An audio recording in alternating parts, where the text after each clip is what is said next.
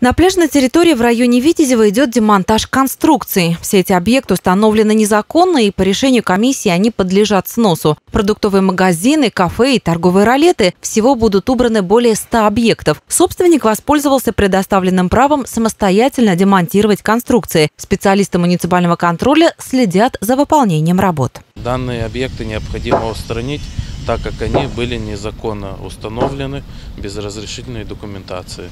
В ближайшее время э, незаконно установленные объекты будут демонтированы с пляжной территории.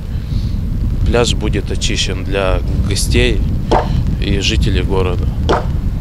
Также специалистам муниципального контроля предстоит очистить пляжи от незаконно установленных аттракционов и детских горок. Работы по наведению порядка в сфере торговли продолжатся.